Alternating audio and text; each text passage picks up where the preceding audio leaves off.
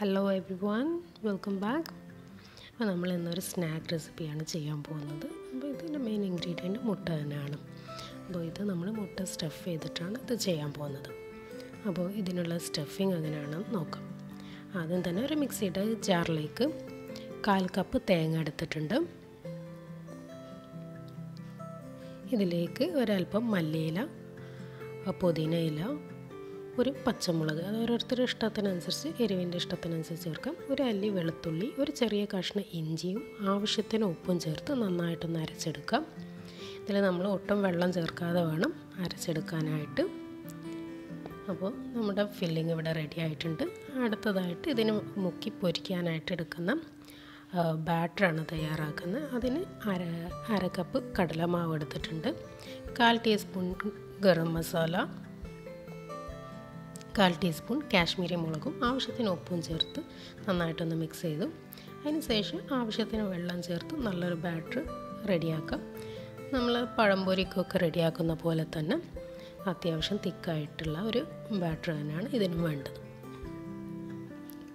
ഇനി മുട്ട സ്റ്റഫ് ചെയ്യുന്നതാണ് ഇങ്ങനെ നോക്കാം.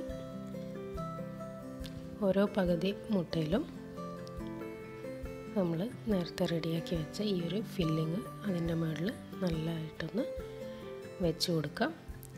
അതിന്റെ മുകളിൽ വെച്ച് നന്നായിട്ടൊന്ന് ഷേപ്പ് ചെയ്ത് ഒന്ന് പ്രസ് ചെയ്ത് കൊടുക്കണം.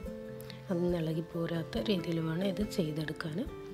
ഇങ്ങനെ നമുക്ക് ഓരോന്നും ഫില്ല് ചെയ്തെടുക്കാം.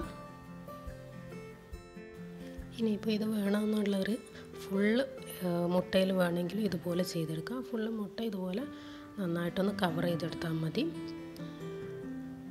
പക്ഷെ ഇത് അത്യാവശ്യം ഹെവി ആയതുകൊണ്ടാണ് ഇങ്ങനെ പകുതിയിലായിട്ട് ചെയ്യുന്നത്.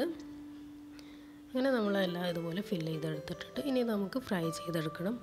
അതിനായിട്ട് ആദ്യം തന്നെ ഇത് ബാറ്ററിലേക്ക് ഇട്ട് കൊടുത്ത് എല്ലാ ഭാഗത്തും നന്നായിട്ട് കവർ ചെയ്യുന്ന രീതിയിൽ വേണം അതിനൊന്ന് പൊതിഞ്ഞെടുക്കാം. ബാറ്ററിലേക്ക് ഇട്ടിട്ട് അതിന്റെ മുകളിലേക്കും എല്ലാം ഒന്ന് ബാറ്റർ ഒഴിച്ചു കൊടുത്താൽ മതി. അതിന് ശേഷം സ്പൂൺ കൊണ്ട് പതുക്കെ എടുത്ത് ചൂടായ ഓയിലിലേക്ക് ഒന്ന് ഇട്ട് കൊടുത്താൽ മതി. ഇത് പൊട്ടി പോവാതിരിക്കാൻ ഒന്ന് ശ്രദ്ധിച്ചിട്ട് വേണം അത് ചെയ്യാൻ.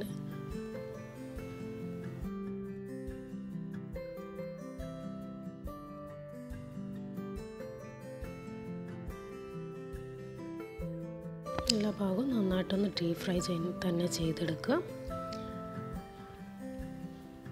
നല്ലൊരു ഗോൾഡൻ കളറാവുന്ന സമയത്ത് നമുക്കിതിനെ കോരി മാറ്റാം. അങ്ങനെ നമ്മൾ ബാക്കിയുള്ളതെല്ലാം തന്നെ അതുപോലെ ഫ്രൈ ചെയ്തെടുത്തിട്ടുണ്ട്. അപ്പോൾ നമുക്ക് കാണുമ്പോൾ തന്നെ അറിയാം രണ്ട് ലെയറായിട്ട് തന്നെ അതിൽ കാണാൻ പറ്റും. അപ്പോൾ ഇത് എല്ലാവരും ട്രൈ ചെയ്യുക. ഇനി മറ്റൊരു വീഡിയോയിൽ കാണുമ്പോഴേക്കും take care bye and thanks for watching